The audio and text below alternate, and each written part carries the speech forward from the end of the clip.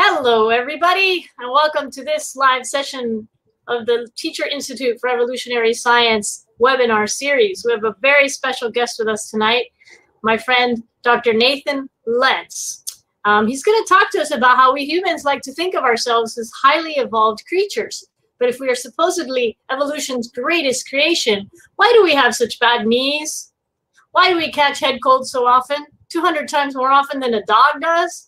And how come our wrists have so many useless bones? Why is the vast majority of our genetic code pointless? And are we really supposed to swallow and breathe through the same narrow tube? Surely there's been some kind of mistake. Well, Dr. Nathan Lents is an American scientist, author, and university professor. He's been on the faculty of John Jay College since 2006 and is currently the director of their honors program and the Campus Macaulay Honors College program. I don't know if I pronounced that correctly. Lents is noted for his work in cell bio, genetics, and forensic science, as well as his popular science writing and blogging on the evolution of human behavior and biology.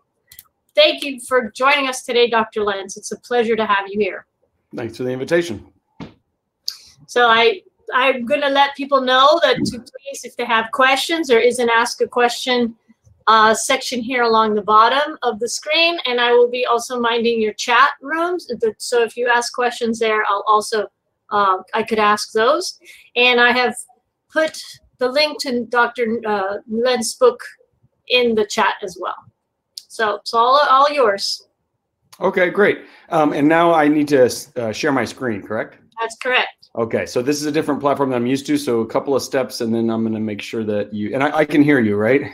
Yep. Once I'm we get going, going okay. Once we get going, um, and I'm going to do just the PowerPoint, I think, and I think you should be able to still see. Can you see that? Yep, uh, okay. we see that. That's it. Perfect. Now I'm now on full screen. Can you still see my face? I uh, we can have you I'm at large like this, or I can make you smaller. All right, I'm gonna go ahead. You, we see you in the corner now. Okay, I I can't see myself, but I don't care about that. I'll just uh, I'll just move ahead. You, but you can see everything just fine. The the screen. Yeah, I see the orange book cover, and okay. uh, we're ready to go. Okay, great. Well, well, thanks so much for the invitation uh, to come and speak to you tonight about human evolution. Um, it is um, it is true that I wrote a book called Human Errors, which was all to do with uh, human flaws and imperfections. And um, sort of the joke of this book was that I wrote my first book on um, comparative human and animal behavior, and I'm uh, I blog a lot about evolution and the evolution of, of human behavior, but it's not never been a research interest of mine. I'm not a psychologist. Um, and nor an animal behaviorist actually. And so my mother, after I wrote my first book, or as I was writing my first book, she, she didn't understand how I could, you know, write a book about something that I don't do research on. And then when she found out I was writing my second book all about human flaws, that made a lot more sense to her. She's like, finally, something you know a lot about. Um, so uh, that that was sort of the segue into the into the second book was that um, we are a very flawed species. Um, and the, the, the there's several sort of theses or themes of this book um, most of which are surprising to a lot of casual readers, which is why um, I thought the book was worthwhile to write. Um, the one thing I'll say is that I think um, human beings are actually probably the most flawed creature, certainly the most flawed mammal, uh, maybe the most flawed vertebrate. And a lot of people sort of, you know, are surprised by that. They would think that that humans are as perfected as any other species. Um, and and really, the theme of the book is that first of all, there's no such thing as perfection. But more importantly, um, humans have more flaws than most animals precisely because we're so good at navigating around our flaws and compensating for them. And one example I used to used to give about why humans, um, one way that humans get around this is that um, I used to have very very poor vision. My my distance vision uh, was 2425, something like that. My uh, I forget what my prescription was, but I had very, very thick glasses, and now I don't anymore. I, I my eyes work just fine, um, and my biology didn't change. I paid someone to shoot lasers into my eyes and fix them, and uh, and in fact, I used the advance from a book all about human flaws to fix one of my flaws, um, and and that's actually a, a, perfect example of how we have um, evolved our way around our flaws using our brains. In this case, it was the brain of a physician. It was somebody else's brain. Um, but we we were in a cultural exchange, uh, and that's really the theme of the book: is that humans um, have that cultural exchange with each other. None of us has to be perfect because we all rely on each other. Uh, and I don't know about you, but I'm pretty glad that I don't live and die based on how good my body works. Um, so that's that, and, and, most animals do, right? except for humans. So um, I think it's a great tool for teaching, and, and, this is the version of my book talk that I do give to teachers uh, and students um, talking about evolution because there are some very specific lessons about evolution that you can learn by studying imperfection. One of them is the idea, it, it, it gives you the chance to push back against a very pervasive idea uh, in, in, among biology students and even biologists that organisms are perfectly adapted for their environment. And you'll see this a lot um, in textbooks. And, and a lot of people, even scientists, um, you know, on a multiple choice test, they might not get, they might not choose that choice. They might not get that answer wrong. But the bias that organisms are perfectly adapted for how they live really is pervasive in our thinking. Um, and so uh, the idea is, well, if, if, if an animal has that certain structure or does that certain thing, it must do something, or evolution would have would have fixed that by now. Um, and that's just not true, actually. Evolution is very sloppy. A lot of things are in evolution's blind spot, um, and a lot of, um, of how we evolve are trade offs and compromises. Um, and so you have to dig a little bit deeper before you, um, before you can make sense of all that. Um, another another uh, lesson that's important uh, that comes out of this book is that another bias that humans have is that we are the pinnacle of creation or evolution, however you look at it. That we're the sort of the apex and the history of life on Earth has been this sort of steady march toward an ever more perfect form until humans arrived, Homo sapiens, masters of the planet.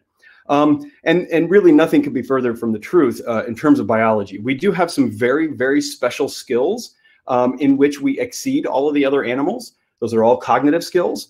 Um, and our social structure, which flows from those cognitive skills, is unique. Um, but basically, everything else about us operates under the same principles as everything else uh, that walks the earth. Um, and and in fact, as I've argued, and as I will argue, we if you subtract uh, the prefrontal cortex from our biology, everything else about us is actually even more sloppy uh, because uh, we have taken the pressure off of our bodies uh, for so many millions of years. Um, I gave the example of, of me paying a physician to, to shoot lasers in my eyes. And that's a new technology, but we have been using technology and we have been using sociality um, to compensate for imperfection for a very, very long time. And I'll give you some examples of that. Um, when I say long time, I mean millions of years. We've been um, sort of taking the pressure off of our body and instead using our brains. Um, another interesting lesson that comes out of uh, learning about imperfection um, is it teaches you about the limits of evolution and how evolution can operate with the body as it exists in that moment of time through tweaks and tugs only, and random tweaks and tugs at that. And so, if you could imagine a human being growing wings and, and, and subsequently the ability to fly, obviously that would have enormous advantages. Why don't we have wings? Why don't more lineages have wings? Um, wings have, have open up all kinds of potential. But actually, what we know is that if you look at vertebrates only, um, wings have only been invented three times uh, successfully uh, in, in long-term over long-term lineages. Three times among vertebrates: the birds, the mammals, that the flying mammals, and the pterosaurs, which of course have all gone extinct. So there's really only two clades now: mammals and birds, flying flying mammals and birds um, that have figured out um, how to fly. Um, why not? Well, because in order to get to the point where you have fully functional wings, you have to sacrifice a whole lot of other functionality, right? It would be great if new wings just sprouted out of our back, but there's no advantage along the way, right? You you wouldn't have any natural selective advantage until the wings were already fully formed. There's just no way to get there. As the old saying is, there's no way to get there from here. So the only way that you can adapt wings, and this has happened the three times in vertebrates, is to co-opt the forelimbs. So birds lost everything else that they used to do with their front limbs.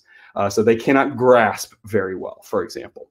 Uh, and there's other lost functionality there as well. So it's actually the evolution of wings is a highly improbable event because of everything that's lost. And in fact, we know that among several lineages of birds no longer fly. Uh, so they've evolved out of their way uh, of flying because flying had come at such great costs. Um, and the other thing is that uh, when you study human imperfection, you can learn a lot about how our ancestors lived. So I often say the body is, you know, one way to retrace uh, our ancestry is through fossils and, and, and so forth. But another way is to look at our body as it exists right now. And, um, and you can see how we used to live. You can get little lessons about our ancestral past. And once you sort of make peace with that past and make peace with the limitations of our body, you can live in better harmony with your body. Um, and in fact, uh, you can learn important lessons on how to live in a sort of more evolutionarily correct way. Uh, and in fact, a whole field has sprouted from this called evolutionary medicine, uh, which talks about diet, medicines, uh, how posture, how you use your body day to day, how you sleep, how you eat, um, and try to sort of recapitulate uh, the ancestral past in some of those habits and see if, if it's uh, helpful. Uh, several very important insights have come from this. And one of them, which gets a lot of press um, right now, is a low carbohydrate diet. Many of you who are who are older, who are maybe my age and older, will remember that there have been waves of of uh, fad diets. Basically, low fat diet uh, was really big in the 80s. Fat was was the enemy. Uh, now we know, of course, that fat's not the enemy at all. It's carbs. What what was that? And dietitians were, were you know, breakfast is the most important meal of the day, and try to minimize fats and all of this. We now know that actually you don't need breakfast. You don't need to eat early in the morning. You don't even need to eat three meals a day, two meals a day, one meal a day is perfectly fine. Um, and in fact, probably better. Uh, and uh, low or, or, or, or, no sugar uh, is better. And that insight didn't come from the study of dietetics, it came from the study of evolution. As more and it became more and more clear to those who, to anthropologists who study our history, that we didn't eat at all like we eat now. And in fact, carbohydrates formed a very small part of our diet for, mer- for millions of years. And it really wasn't until the invention of farming that we, we got to our current state where 75% of the world's calories um, are consumed uh, as carbohydrates. And that's just not how we're built.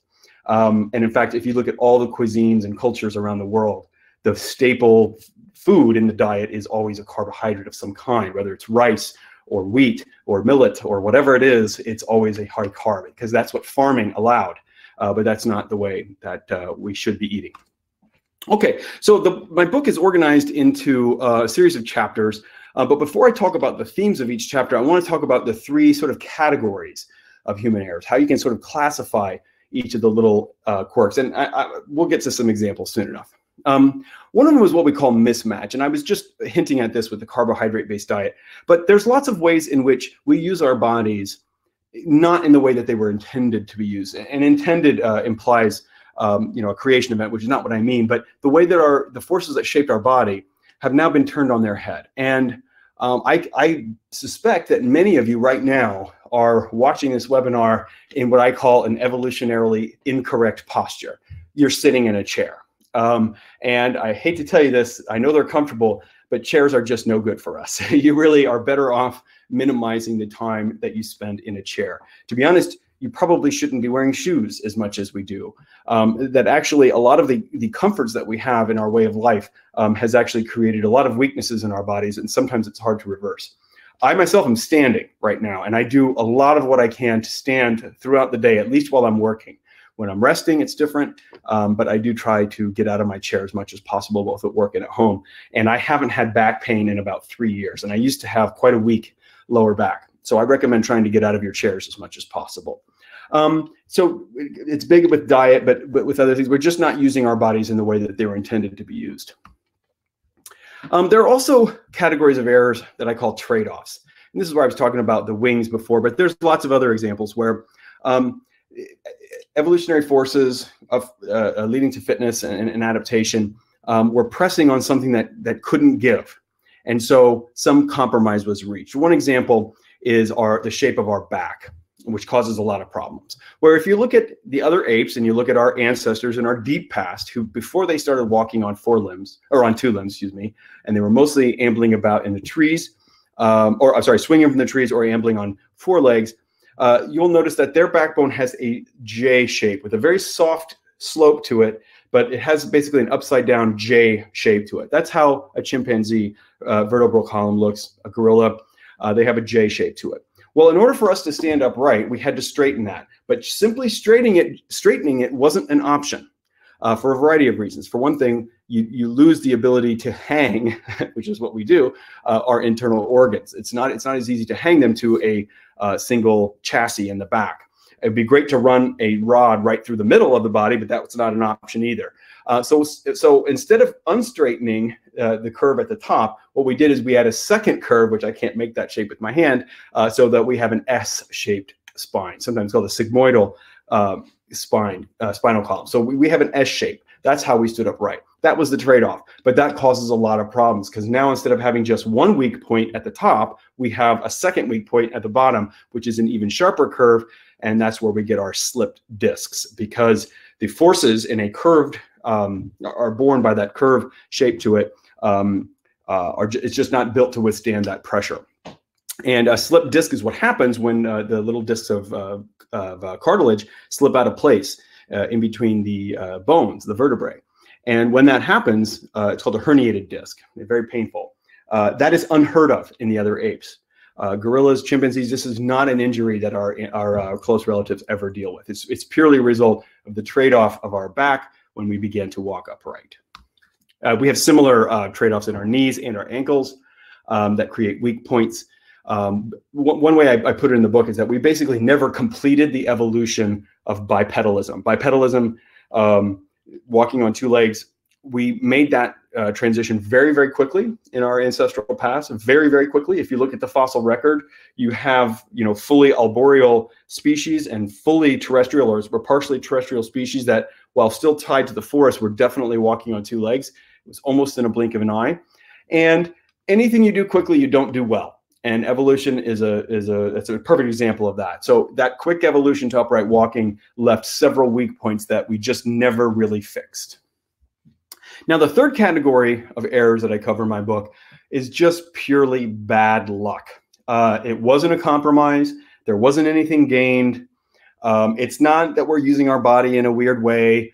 It's just bad luck. And bad luck happens. And if it gets fixed in a population through a process we call genetic drift, there's no way to unfix it. The best example of this, the one that people are most familiar with, and I do write about this in the book. This was well known before my book, but for some reason people quote my book as if I was the one who first described it. But uh, one of, uh, example of bad luck for us is our need for vitamin C. So we have a dietary need for vitamin C, ascorbic acid. We can't uh, make collagen without it. Vitamin C does a few other things too, but that's really the key problem with vitamin C deficiency is we, we lose the ability to make collagen.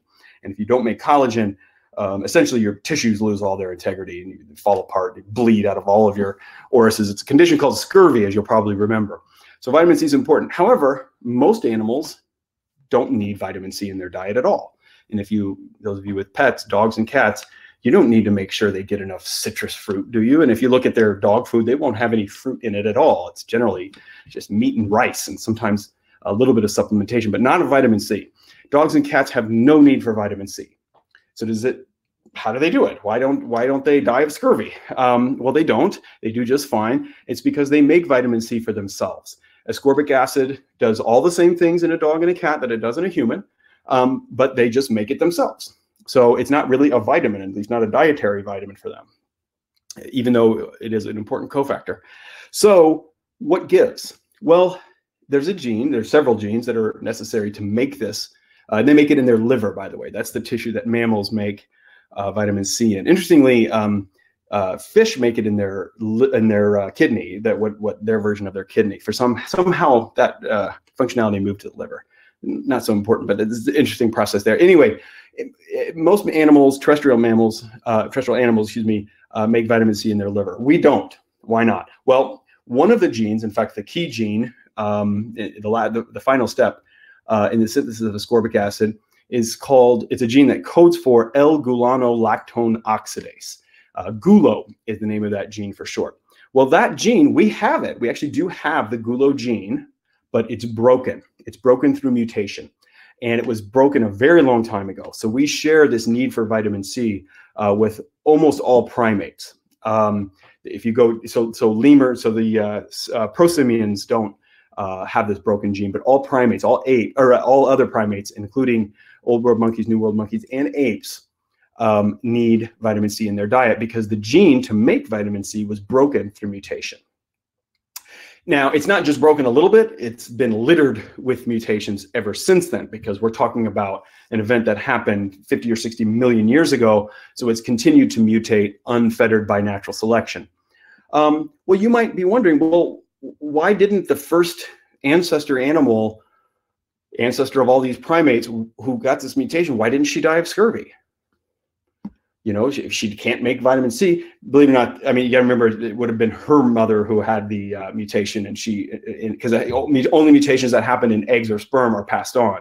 So the irony of mutation is that any mutation that you suffer from, you don't pass on, and any mutation that um, you, that you do pass on, you usually don't have any effects from because they only uh, affect your gonads, uh, and specifically the germ cells. Anyway, the point is, she didn't get scurvy, she didn't die. Why? She must have already had vitamin C in her diet. So she must have lived somewhere where vitamin C is found naturally. Where is vitamin C found naturally? Tropical rainforest, among other places. And so primates have been restricted. Uh, so and this is the bad luck. Uh, you might ask, well, okay, it didn't harm her, but it didn't help her either. How did it become so fixed in the population? And that's the bad luck. Mutation, okay, that was bad luck, but mutations are always happening. Natural selection clears them. Uh, if they're if they're negative, right? But in this case, it didn't, and through just sheer bad luck, she became the ancestor of the mighty clade that we know of as primates, uh, most primates, and um, it got fixed, and that's called genetic drift. Just bad luck, nothing gained. There's no upside. We just now need vitamin C. But this has restricted where primates can live ever since. So for 50 million years, primates have been restricted to climates to climates where vitamin C is found naturally, and they got scurvy anytime they tried to migrate out of that. Uh, and for example, uh, the the entire continent of Europe was never successfully colonized by primates until humans. First uh, Neanderthal and, and some of uh, uh, recent, very recent ancestors, and then Neanderthals, and then modern humans, and they, we almost certainly suffered scurvy when we did. But by that point, we had learned to bring some food with us. We weren't quite farming yet, of course, but we were uh, starting to manipulate our own diets a little bit. And so we had figured out foods um, that can um, uh, not give us scurvy. We didn't know why, of course, but we, we knew what to eat and what not to. So that's an example of bad luck. Um, I, I, don't organize the chapter, the book into those three chapters. The way that the chapters are organized in the book are as follows. So I go through anatomy, and I'll give you at least one uh, new example of anatomy uh, that I that I mentioned in the book where there's some errors there. I also oh and so before I go through the chapters, I'll just give you some examples as I go. I'm gonna have to pick up the pace a little bit here because I want to make sure I'm done by 8:45 and leave time for questions. Okay, anatomy. Um, so usually I ask this question to a live audience: Has anyone in the room ever had a cold? Um, usually, if there's at least 30 or 40 of you, you can get one or two hands up there. Um, obviously, I'm kidding. Americans get between three and four colds a year. If you have children, it like three or 400 a year. Um, so common cold is one, one of the most common ailments that we have. Um, and this is a fairly unique thing to human beings, actually. The uh, rhinitis and, and, and other, because uh, uh, it's actually a collection of, of syndromes, right?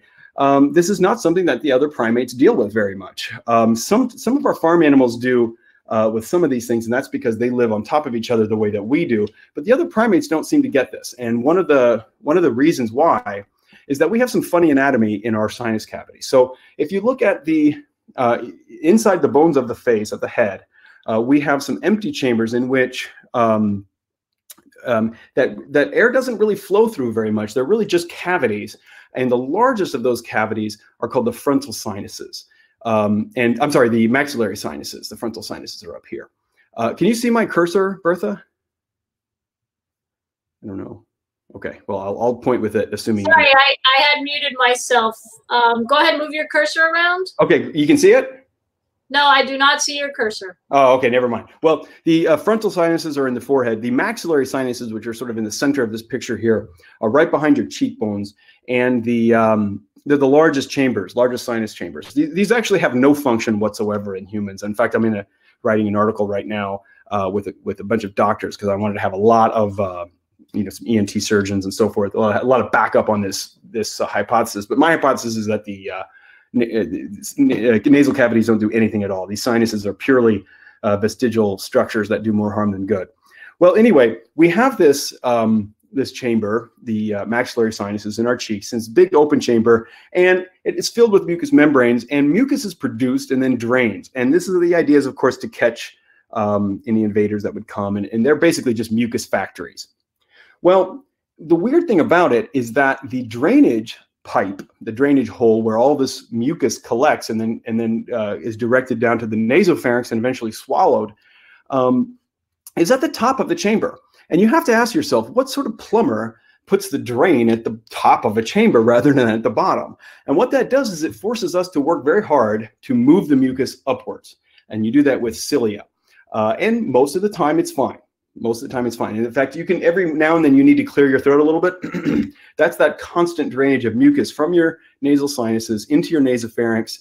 You get a good swallow and you send it down to your stomach where it's safe and you can neutralize all the bacteria. Great. But why do you have them in the first place? Well, the reason we have nasal sinus cavities at all is because our ancestors did. And if you go back in time, mammals, the vast majority of mammals are snouted.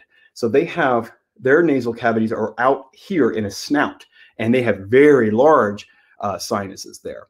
And that reveals the real purpose of the nasal cavity. It's for olfaction, it's for smell, because most mammals actually navigate the world through their sense of smell. So they pack in millions upon millions upon millions of olfactory receptors in their snout. And like, I don't know if you know this, but your dog uh, recognizes you by your smell much more than by how you look. Uh, you can't FaceTime or Skype with uh, with your dog. Um, but they can often recognize you way down the block, not by and and, and you can tell uh, how, which way the wind's blowing, whether or not this works. Um, but they can smell you, and that's how they, and they navigate the room the same way. They're just so attuned uh, to senses of smell.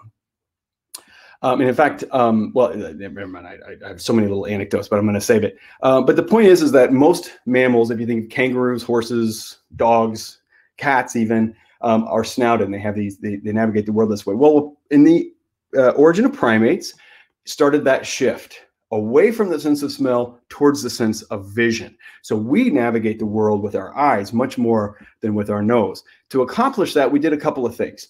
First of all, we brought our eyes forward. The vast majority of mammals have their eyes much more on the side, which gives them a wider field of vision, but very poor depth perception. So by bringing the eyes forward, we have that stereoscopic three-dimensional vision where we can get uh, good depth perception. The problem with that is that the snout would be right in the center of, of the field of vision. So what do we do is we regress the snout since we don't need it for, for smell anyway.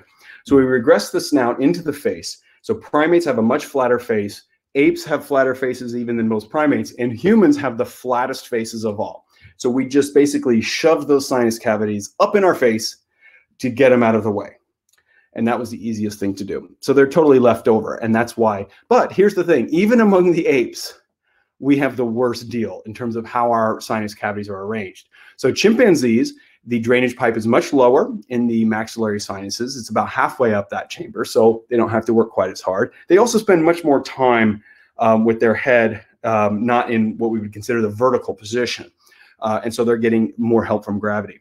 Orangutans ditched. We have we have uh, several paired uh, chambers. They ditched two of their sinus cavities altogether to make more room in their face, and so they have a better arrangement there. Humans really did get the worst end of the deal, and that's why we get uh, congestion. Because if this fills up, this chamber fills up with with dust and allergens, bacteria, um, then drainage slows to a halt, and you get a festering pool of infected mucus, and that's a sinus infection.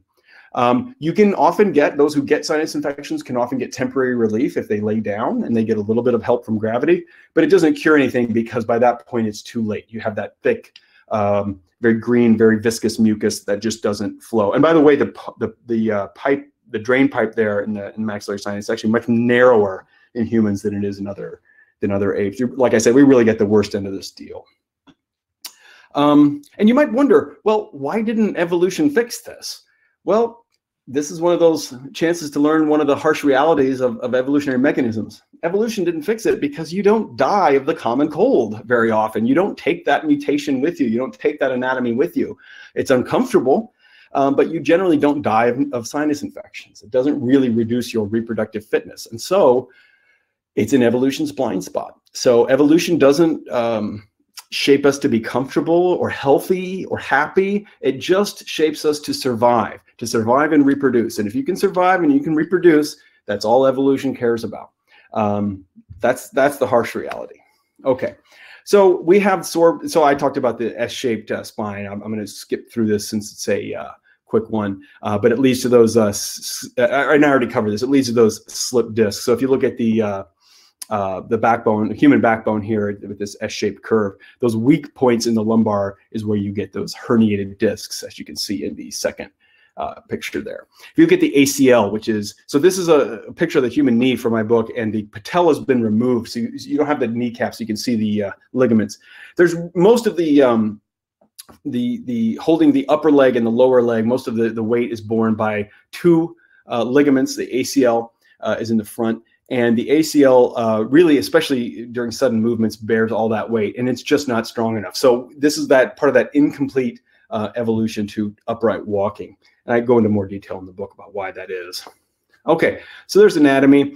Um, and, and that's the first chapter of the book, and it seems to be the chapter that most people have written about when they review the book, and uh, which is great. I just hope they made it to the other chapters because I, I mean, that's just chapter one. Pardon me. Okay, so the next chapter is the chapter on the genome, and so I talk about um, all the weird things that are left over in our genome from our past um, and a lot of inefficiencies in our genome. And one thing um, I, I, like to throw little tidbits out from this chapter. So, for example, um, most people, if they teach biology, might be aware that um, about only about three percent of our DNA uh, is in in the form of genes, um, and only about one and a half percent of that is actually the coding region of genes. So most of our DNA doesn't code for either protein or RNA. What does it do? Some of it's regulatory, about 20% of it's regulatory, maybe 25% of it's regulatory. But the rest of it, as far as we can tell, really doesn't have any function whatsoever. And there's arguments about how much of the genome has no function. I'm pretty confident to say 75% of the human genome does absolutely nothing for us, or at least nothing good. And the way I get that to that figure is that 75% of the human genome has not been maintained by natural selection, meaning there is no pressure on it to exist in any certain way. Uh, it might be a reservoir for future function, and that's fine, but evolution doesn't really think ahead. Um, that's just getting lucky. Most of the, the human genome has no function whatsoever. And in fact, 9% of the human genome, 9% is viral carcasses from past virus infections that our ancestors um, suffered from and beat. So, as you probably know, uh, many viruses actually, as part of their life cycle, incorporate into chromosomes uh, in, the, in, their host cell. Well, if this was unlucky enough to happen in a, in a gamete, um, you can have part of that viral genome left in the chromosome that gets passed on. And this has happened often enough that 9% of our DNA is actually viral in origin.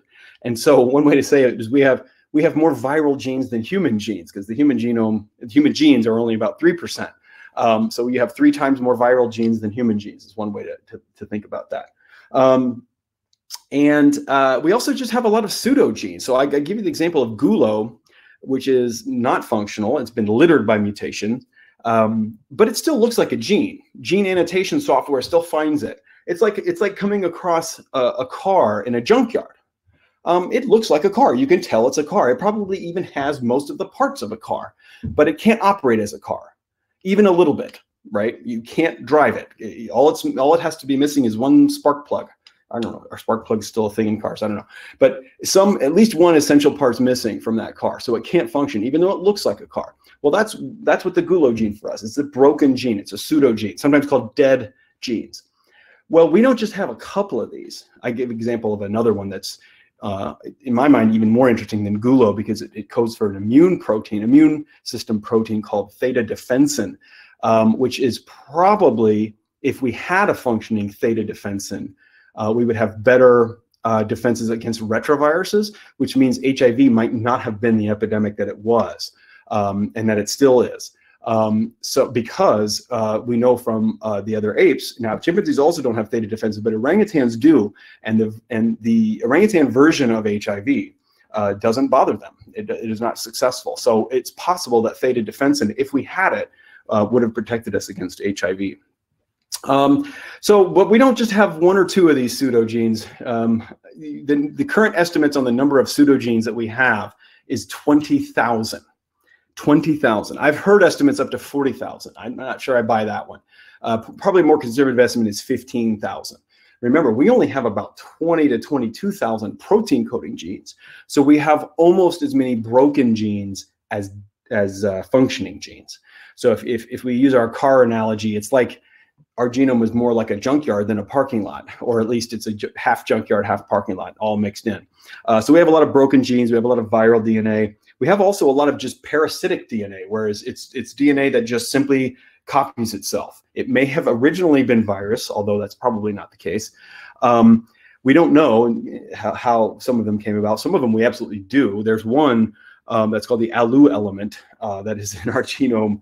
Um, it's about 10% of our genome is this one repetitive DNA. It's, it's there over a million times. It's about uh, 300 base pairs long, and we have a million copies of it. It does nothing but copy itself. That's all it does.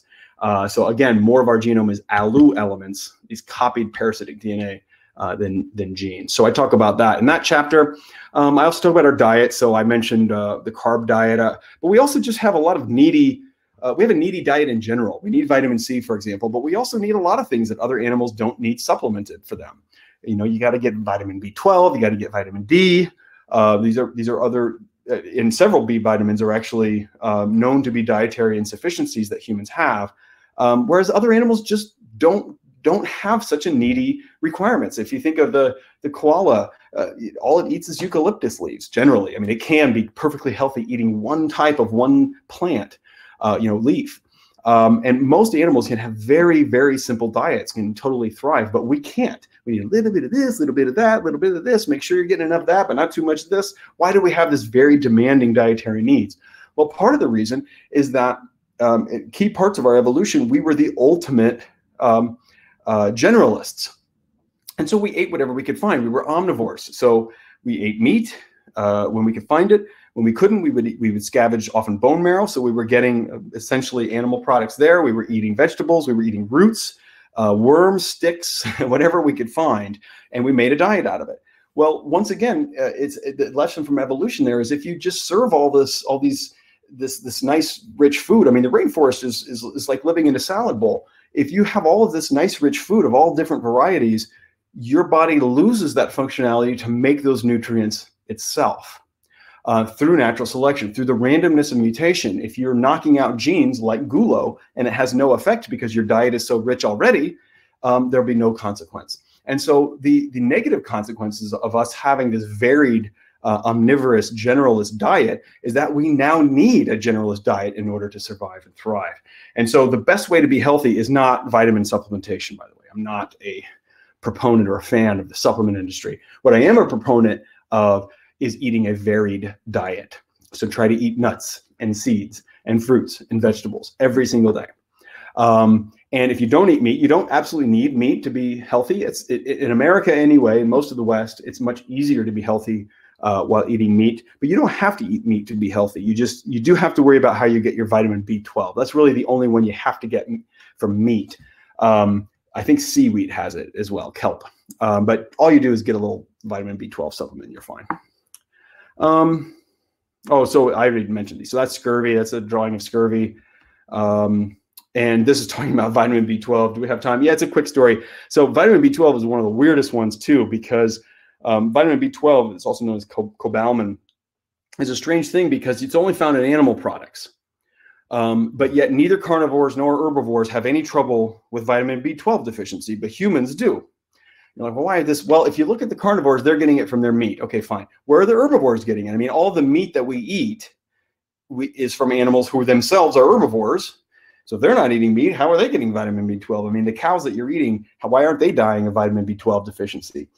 Well, it turns out that cows and other herbivores have bacteria in their intestines that make vitamin B12 for them in their large intestine. So that's great. It's like vitamin K. You may have heard that story. Humans uh, have this too. Vitamin K, uh, K, is made for us in our large intestine and we absorb it. And that's why many people have never even heard of vitamin K because it's not a dietary vitamin. We get it right in our gut. It's made for us by the bacteria. We absorb it. Vitamin B12 is the same way for all the herbivores. So why don't why are we so lucky? Why don't we have that bacteria? Or why maybe we can inoculate ourselves that bacteria and it would be fine. Well, it turns out we actually do have that bacteria. They live in our large intestine and they make vitamin B12, but we don't absorb it. You know why? We don't absorb vitamin B12 in our large intestine. we absorb vitamin B12 in our small intestine. So we go to all the trouble of having these bacteria. They make the vitamin B12 for them, and instead of absorbing it, we send it to the toilet. And and and you can die of vitamin B12 deficiency while you have it being made for you in your large intestine and you're excreting it uh, as waste. Uh, and in fact, there was a study that was done. Someone's got to be wondering this. Human feces is a dietarily sufficient source of vitamin B12. Don't recommend it. I don't think you'll find it on the menu anywhere. Hopefully not. Hope you don't get that desperate.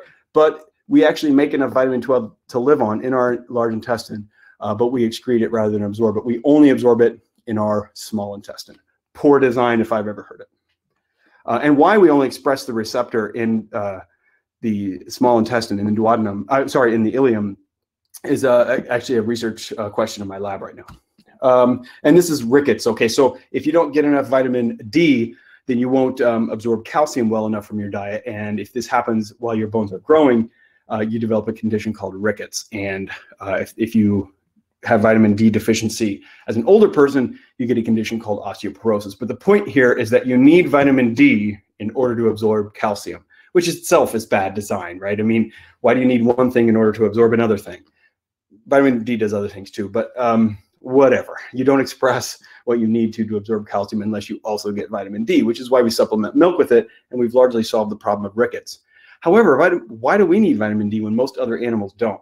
Well, there's a key activation step in, in their diet. There's a key activation step uh, for vitamin D that takes place in the skin. So you have to activate the molecule with UV light, with with with uh, UV irradiation, and that activates the, the molecule. Well, uh, most mammals actually uh, do that in their fur.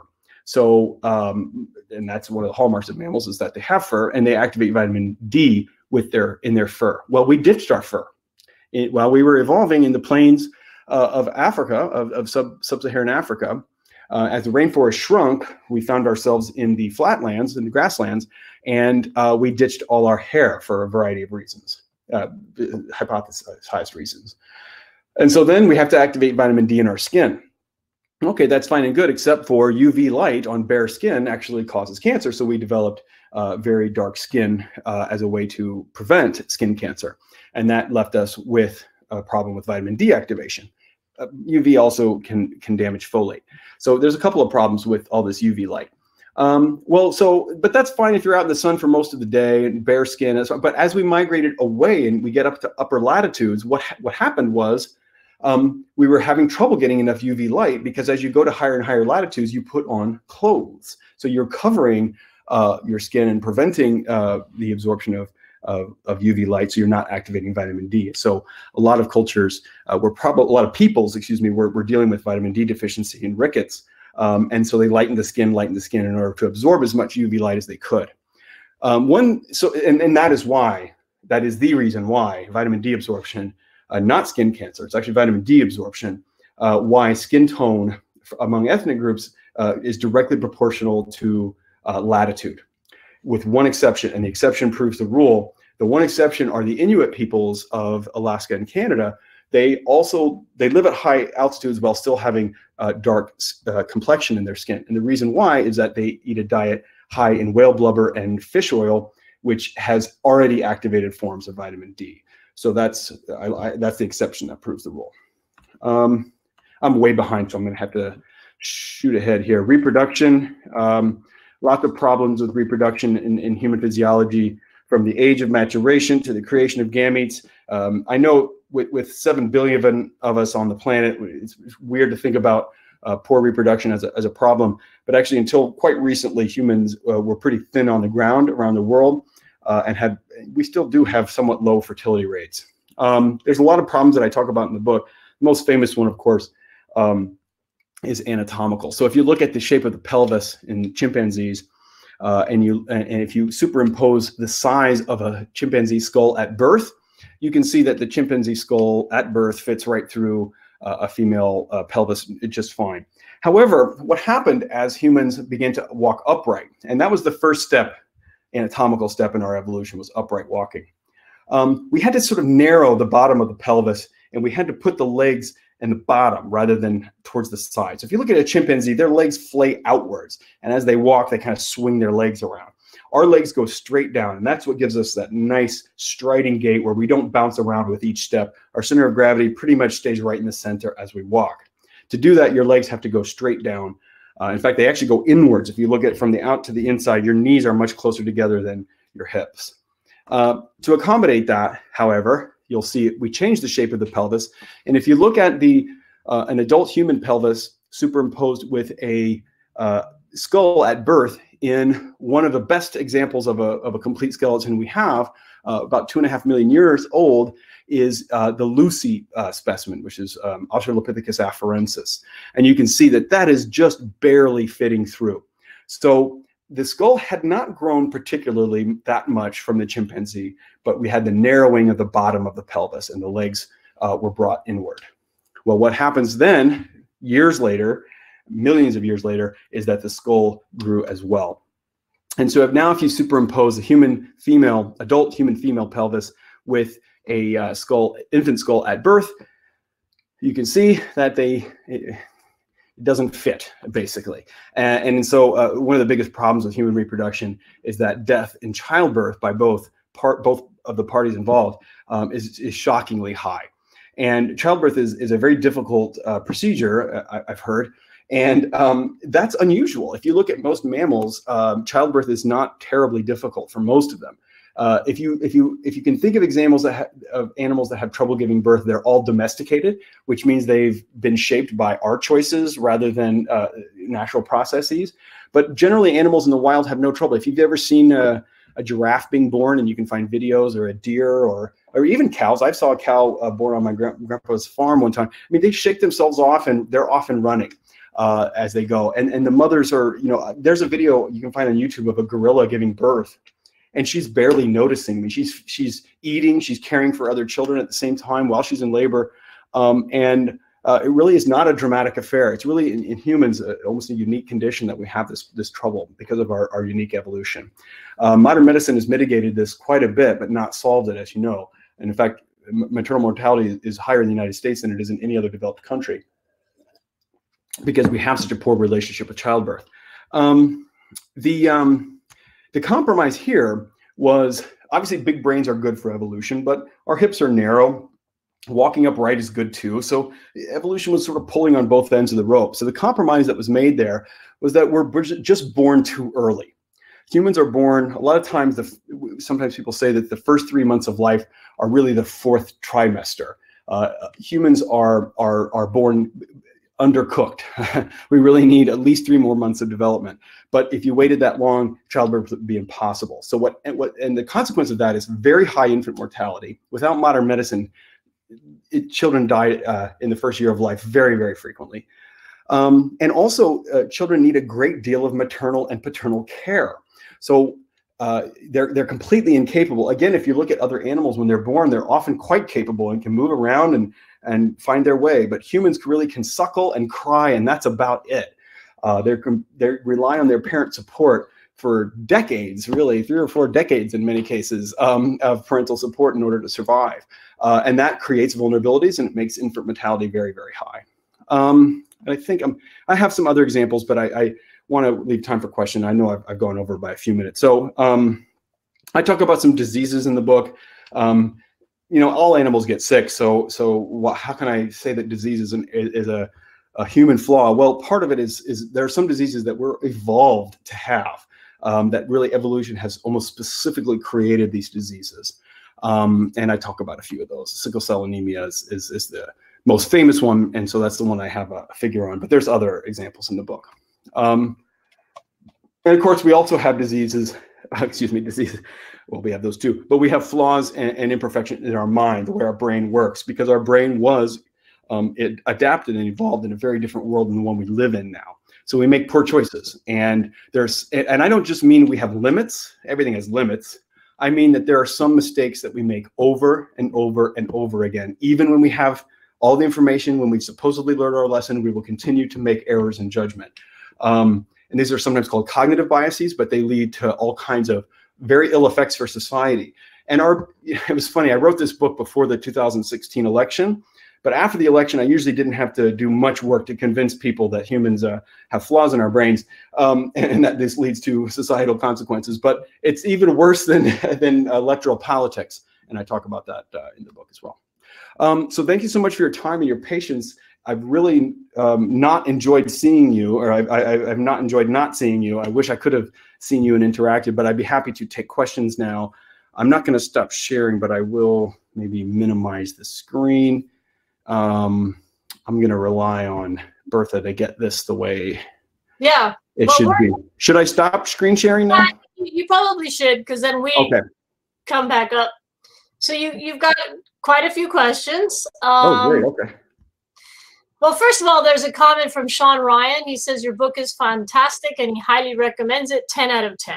So I thought oh, that. thank you, thank you. I appreciate that. You're the one. Could you tell my my mother that she'd appreciate it? um, here's a question from Adrian Rodriguez. Would vegans have a vitamin B12 deficiency if they didn't take supplements?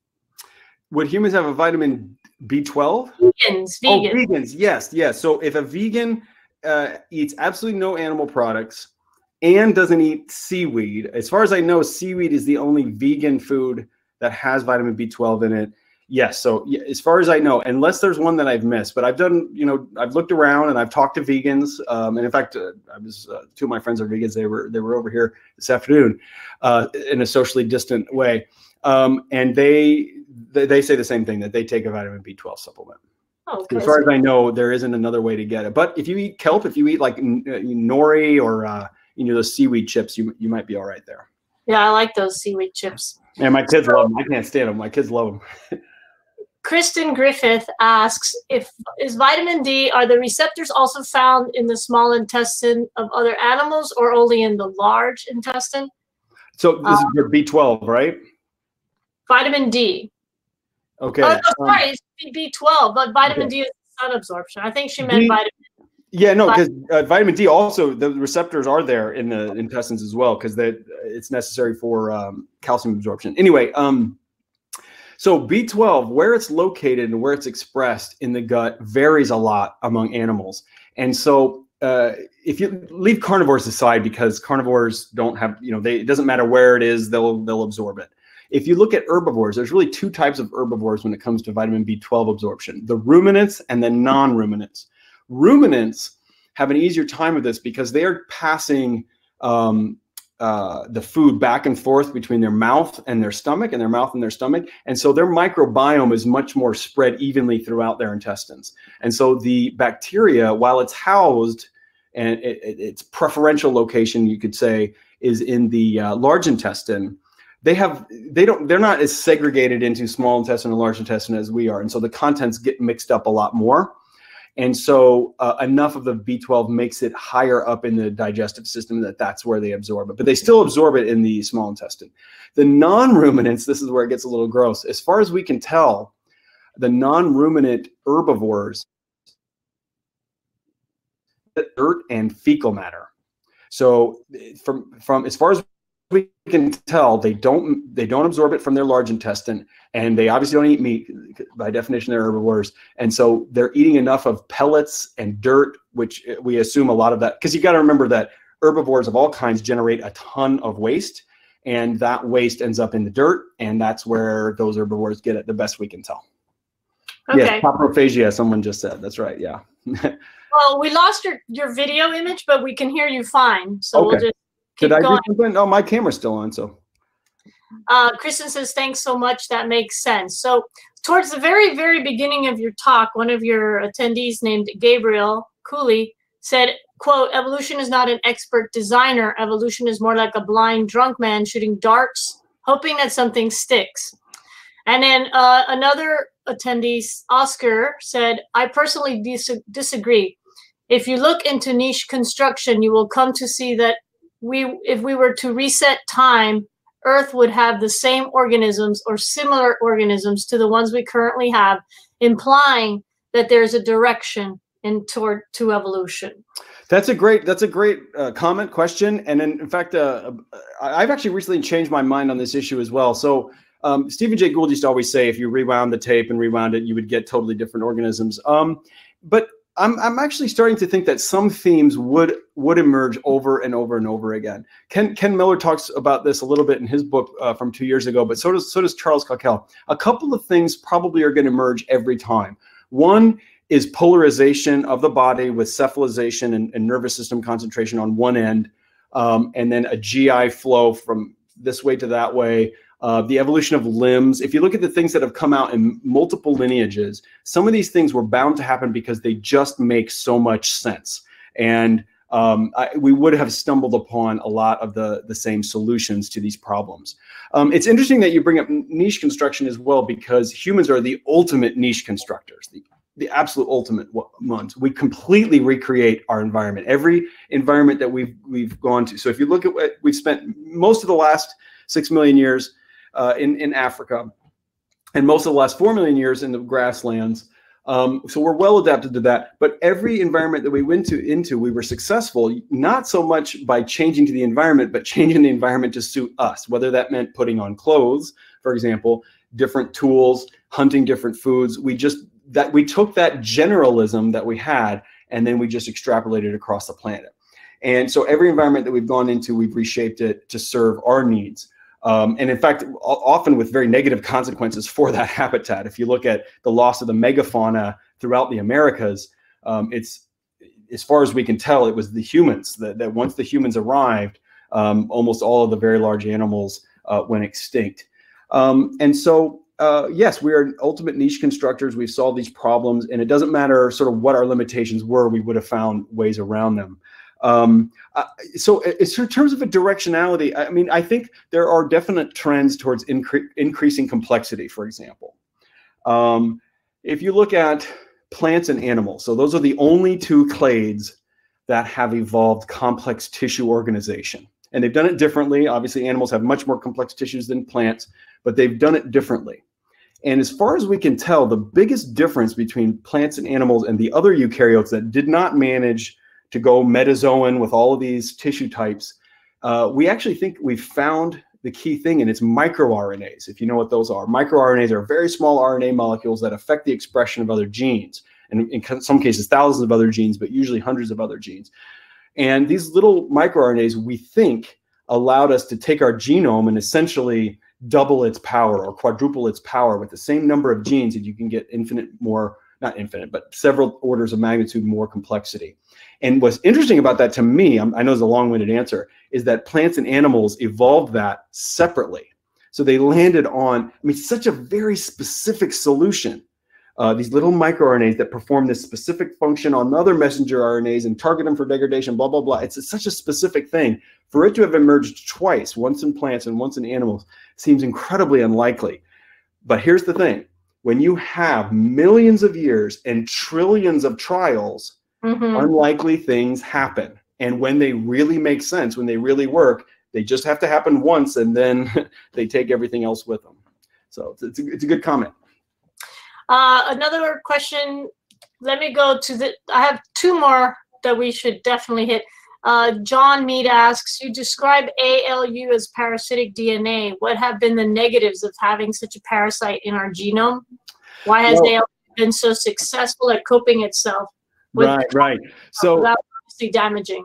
Yeah, yeah. So ALU, um, like I said, it, it, it's now quieted down. So it's not copying itself anymore. It's not crashing through the genome anymore for the most part. Other transposable elements are, but the ALU element, the ALU element, is not is not crashing through. It's it's totally quieted down finally. It, it it's at least 100 million years old, um, ALU. So what we know is that these elements jump around the genome and they crash into genes. And when they occasionally, and when they do, it's almost always bad. So the ALU element specifically has probably led to the death and suffering of millions of individuals, trillions of individuals, maybe, I don't know, over the last 100 million years. Um, so it's almost always bad, almost always bad. But occasionally, very rarely, it does something remarkable. So when the transpo transposable elements jump around from the chromosomes, crashing through randomly, generally doing bad things, occasionally they'll pick up a piece of DNA and either move it, and that might not have any effect, or copy it. Because some of these things, the retro transposons make copies of themselves. And so the original one stays there, the transcript gets made, reverse transcribes, and then the copy is what gets moved. That's how we have a million copies of ALU. Occasionally, when it does that, it grabs a functioning gene and creates a new copy of it. And when you have a second copy of a gene, that's a wonderful recipe for diversification because the original gene or the other, whichever one can hold on to the original function and then the other one can tinker. It, it's free to experiment. And so the reason why primates um, have trichromatic vision, so we have three kinds of cones instead of just two, most mammals have only two, we have three, is because one of those genes was copied in this manner uh, by a transposable element and giving us three copies of the cones, which is, and then of course, what happened? They diverged through mutation. So instead of two co cones trying to color cover the whole color spectrum, you have three cones covering the color spectrum. So you cover that spectrum much better. So we have better color vision. The primates have better color vision than all of the other mammals. You, may have heard that your dog is colorblind. That's not true, but they're dichromatic. They don't see as well as we do with color. We're trichromatic. And actually, some females uh, in the population are tetrachromatic because they have mutations in one of the genes that's on the X chromosome. And since they have two copies, they might end up with two different copies. Um, actually, t- two of the genes are on the, the X chromosome. So some females are actually even better at seeing color than than the rest of the population. So um, so yeah, so it's almost always bad when these DNA elements jump around the genome, but occasionally something really, really cool happens. And you know what? Kristen Griffith just said something amazing. She said color vision helps us find fruit to, for vitamin C. Absolutely, that's true. And what that now the two events weren't tied mechanistically, but it just goes to show that evolution favors the something happening in the right place at the right time. So how many times did you know alu or whatever element copy this gene and it didn't give the animal any advantage and we never knew about it but when it happened in an animal that was eating fruit because remember ripening fruit sticks out from the green. Ripening fruit is not green. It's it's yellow, it's red, it's whatever. So if you can see it better, you can get to the vitamin C. Uh, and it's not just vitamin C; it's also the calories and everything else that comes with the fruit. So those two two events were not mechanistically tied, but they were tied by evolution because they reinforced one another. It's like the ability to drink milk as an adult a random mutation happened and it probably happened millions of times but if you weren't farming if you didn't have milk around it would have been no advantage it has to happen in the right place at the right time and that's just luck a lot of good luck got us to this point and a lot of bad luck doomed countless ancestors well they wouldn't be ancestors actually right right well I, I i asked at least one question per person so i feel good about that and i'd like you to comment mm-hmm. on this I don't know. Morris and Gabriel are going off in the chat. I think they're having a fun time. And one of them said, Morris said, so long story short, humans are a very unlucky species. I don't know if I do. I don't think I agree with that. Well, let me let me react to that because um, one way I, I put it is we are more flawed than most in our bodies because we don't rely on our bodies to be perfect or to you know to, to, to be functional because so for example if you didn't if you couldn't run very fast, probably wouldn't make a good hunter, but you could be a good forager. Um, if you didn't have good vision, maybe you had to do you do work with your hands, or maybe you were like a shaman, like a wise person. Uh, and it, there were just so many different ways to contribute when we were living the way that we were living with these big brains and big groups. Um, and so I think that's a happy story, right? Because it means that you don't have to be perfect. As long as you can contribute something in some way, you don't have to be all things to all people. You just have to have something of value. And um, here, here, here's another reason why I think it's uplifting. There's a, a, fossil that's my one of my favorite fossils. It's called the Old Man of Dmanisi. So it's, it's two and a half million years old. It's Homo erectus fossil. And this this guy was probably 70, 80 years old, and he's missing all his teeth and the bone has completely healed over. So he has no teeth for at least two years. How does somebody, this is before fire was controlled. yeah, this is before fire was controlled. How does somebody survive on the foods they ate for two years with no teeth? Somebody was preparing and cooking, not cooking, but preparing and probably chewing his food for him. Someone was chewing his food for him, which means that his value to the group was recognized enough right. that they would take care of him. Um, and so I think that that's our story. We've been taking care of our elders, for example, for a long time because they knew things that they could teach and, and so on. So I think it's a happy story. The fact that our bodies are flawed just shows that we rely on each other and rely on our ingenuity uh, to survive rather than, than our physical prowess. Wow, that's a. I think that's a perfect place to end. This has been a really, really good talk. I've heard this talk before, and I still learned something new. I try to change the examples for you, Bertha. Thank you. I really, I really, really appreciate that. Dr. Lents is such a great supporter of ties. He's even he's flown in one day from New York to Florida, presented in person, and flown back to New York. Um, and so I, I appreciate him probably more than any other scientist that I've worked with here in ties. Um, I want to let people know that for uh, thank you kenny you let people know that there's a bunch of webinars coming up we're trying to help teachers you know as much as we can as we go online i just linked a crowdcast uh, registration there to all about dogs. The author of the, the book called dog is love and i think that would be a great one. And um, john linked to the old men of Dmanisi and kenny coogan linked to our website where we have several. Our next one's coming up is the history of the creationist evolution battle in Florida.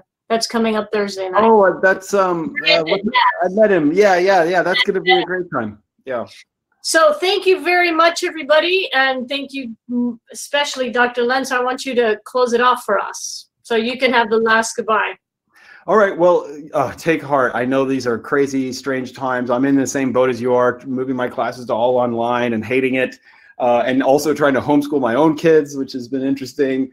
Um, so, uh, but here we go. It's humans with a challenge that nature brought to us. Essentially, you know, essentially, I mean, part of it's our the way we're living, but um, and we're solving the problems with ingenuity. So it's a good thing that just being good against viruses isn't what's necessary. Is that actually we can take social action, talk to each other, take heart, get advice, learn things, and that's how we're going to solve this problem. We've been doing this for millions of years. We'll solve this problem too. Thank you. And good night, everybody. Bye. It was a lot of fun.